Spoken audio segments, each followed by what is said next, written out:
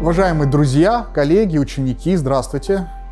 Ну, в первую очередь, решите представиться. Моя фамилия Трощинский, зовут меня Павел Владимирович.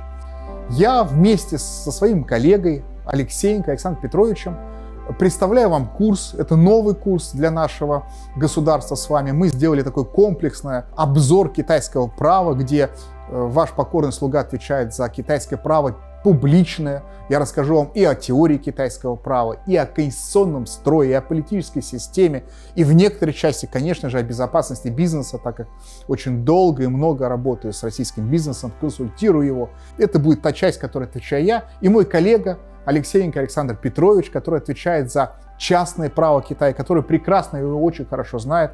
Моя диссертация кандидатская была посвящена юридической ответственности по законодательству Китайской Народной Республики. Она была защищена в 2002 году на юридическом факультете МГУ в Москве. Александр Петрович, он защищался на площадке Уральского университета в Екатеринбурге, э, хотя сам с Дальнего Востока. Его диссертация посвящена инвестиционному праву России и Китая. И мы наши компетенции собрали воедино, потому что всю нашу профессиональную жизнь мы посвятили изучению китайского права.